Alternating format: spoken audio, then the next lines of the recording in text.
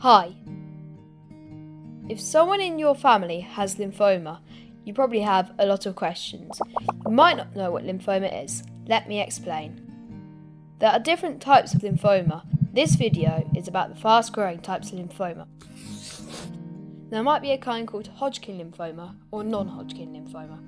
We have another video about the slow growing types of lymphoma. Make sure you are watching the right one.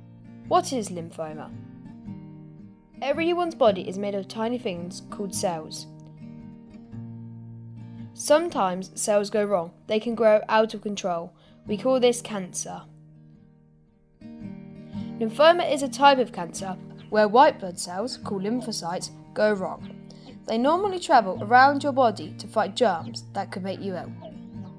If these cells go wrong, they can start to cause problems. They can make a lump, they can make lots of lumps, you might even be able to see or feel the lump. Sometimes the lumps are deep inside the body, so you can't see them or feel them. Lymphoma is rare. Most people will never get lymphoma, and most people don't ever know anyone who has it. We don't know why people get lymphoma. Bodies can go wrong. It isn't because the person did anything wrong. You can't catch lymphoma, so you can still be close to someone who has it. What does it mean if you have lymphoma? If the doctor thinks someone has lymphoma, they'll need to go to the hospital for tests. The doctors find out what is wrong and make a plan to help the person get better. Someone with lymphoma might feel really tired or unwell. They can be itchy or get hot and sweaty, especially at night. Some people have pain in their tummy, others get thinner even if they're not on a diet. Everyone with lymphoma feels differently.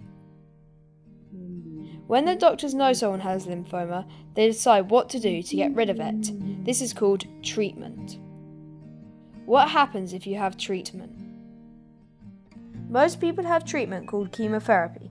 This is a special medicine that kills the bad cells. Most people go into hospital to have chemotherapy, then come home the same day.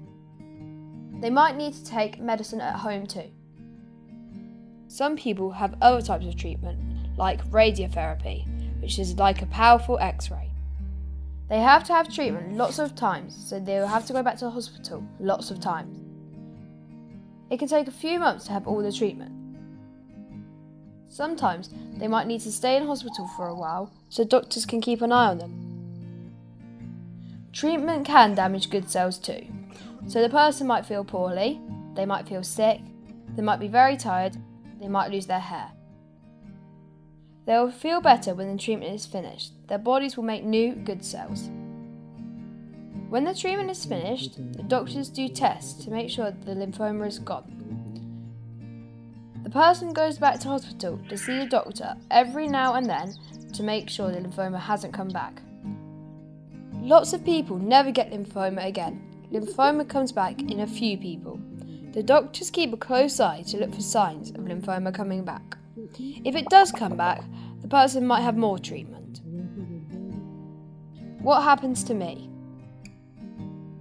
If someone who's looking after you has lymphoma, you might notice some changes for a while. The person with lymphoma might feel unwell and need lots of rest. You can still be close to someone with lymphoma. They might like you to talk to them about your day or just watch TV with them if they are not feeling well. Someone else might need to take you to school or make your dinner sometimes. Ask your family to talk to you about what is happening. Ask them questions if you don't understand something or if you are worried about anything. You can all look after each other while the person is getting better.